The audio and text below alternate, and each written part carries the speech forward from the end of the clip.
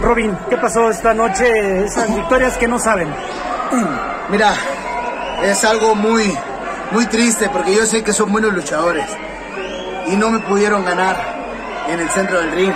Tuvo que hacer sus marrullerías, pero no le hace. Yo quiero una revancha, exijo una revancha, porque estamos saliendo a defender el apellido Alvarado.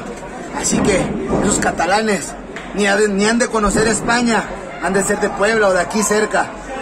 Les exijo una, una revancha a los catalanes y al otro güey, porque esto no se puede quedar así un gran padrino, un gran compañero, líder en la esquina, ¿no? Así es, la experiencia de Robin y como lo hemos dicho, nuestro maestro, el actual maestro de los Bad Boys, de Brazo de Oro Junior, Brazo Cibernético Junior, Brazo Celestial, en la Escuela de Arena del Rey Bucanero. Él es nuestro profesor. No está solo Robin. Claro, no, no, no, no está solo. Él sabe, como mi hermano sabe que siempre está, voy a estar atrás de él. También mi primo y mi sobrino también los brazos, los Bad Boys, siempre respaldando a Robin y Robin respaldando a los Bad Boys. Aquí que siempre un Alvarado nunca anda solo. Lo hemos dicho, respetamos a todas las empresas, pero somos una familia y la más unida. Y recuerden, un Alvarado nunca anda solo. La avalancha que se acaban de aventar los catalanes encima. Se aventaron a, a los pequeños. Pero vamos a acabar con ustedes.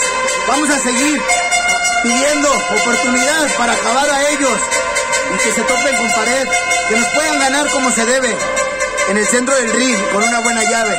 No así, eso es una falta de respeto al público, porque el público paga un boleto para ver una buena lucha y salen con eso.